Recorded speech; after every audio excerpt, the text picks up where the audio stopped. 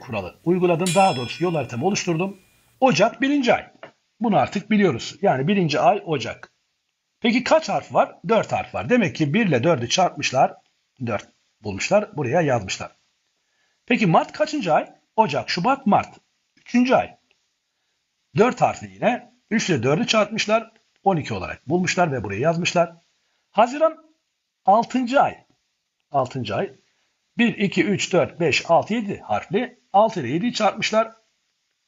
42 bulmuşlar. Onu da buraya yazmışlar. Ağustos 8. ay 1, 2, 3, 4, 5, 6, 7 tane de harf var. 8. ay 8 çarpı 7'den 56 olarak yakalamışlar.